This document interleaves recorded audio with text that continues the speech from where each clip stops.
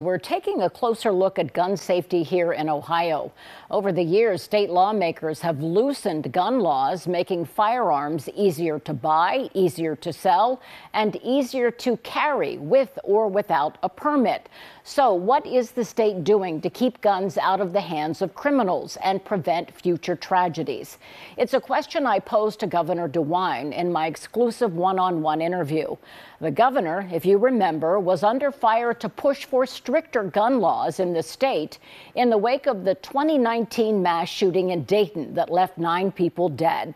He tells me the legislature did not approve his proposal that would allow families to petition a court to remove firearms from someone who was an addict or having mental health crisis.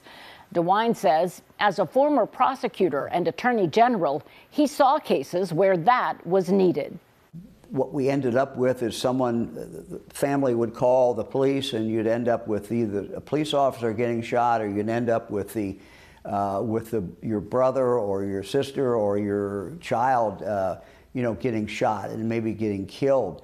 They're just we need to find a solution to this, and I think that what I have proposed to the legislature would, in fact, make sense. I think it's clearly constitutional. It protects the Second Amendment, right? No one's going to take guns away from anybody except through a court hearing where there's due process. And that proposal is, is still on the table. I also asked the governor about the November 7th election and his opposition to issue one, which would constitutionally protect abortion rights in Ohio. His answers sparked more questions, and you'll hear more on that NBC4 at 11 and also on the Spectrum at 10 o'clock Sunday morning.